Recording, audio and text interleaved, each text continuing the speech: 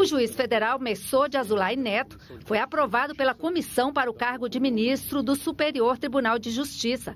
Autor de vários livros, Messó de Neto é professor universitário e desembargador desde 2005. Não há democracia sublime-se sem poder judiciário independente e diálogo institucional entre os poderes da República. Outro aprovado para ocupar vaga no STJ foi o também juiz federal Paulo Sérgio Domingues. Ele é mestre em Direito e desembargador desde 2014. Devemos sim sempre ter um judiciário forte, independente, eficiente e também democrático, e que sempre dialoga com outras instituições. O que o povo brasileiro espera é um poder judiciário ágil, democrático e que respeite, acima de tudo, o devido processo legal. Os senadores também aprovaram a indicação da juíza trabalhista Liana Scheib para o cargo de ministra do Tribunal Superior do Trabalho.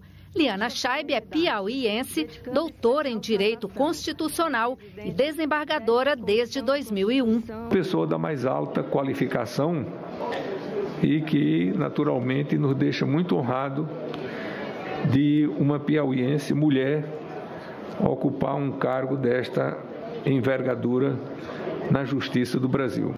Hoje, é possível termos uma legislação trabalhista capaz de acompanhar o ritmo das transformações impostas pelas mudanças tecnológicas que criam novos desafios para as relações de trabalho? O mundo do trabalho hoje, o capital e o trabalho, eles não podem mais é, ficar numa situação de binariedade ou ser ou não ser, to be or not, or not to be.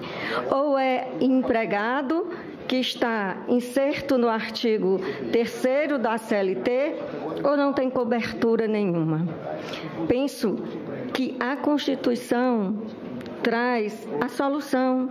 Nós temos princípios na Constituição que parecem ser antagônicos, mas não são antagônicos. Também foram aprovadas as reconduções do advogado Engels Augusto Muniz para o Conselho Nacional do Ministério Público e de Luiz Fernando Bandeira de Melo para o Conselho Nacional de Justiça.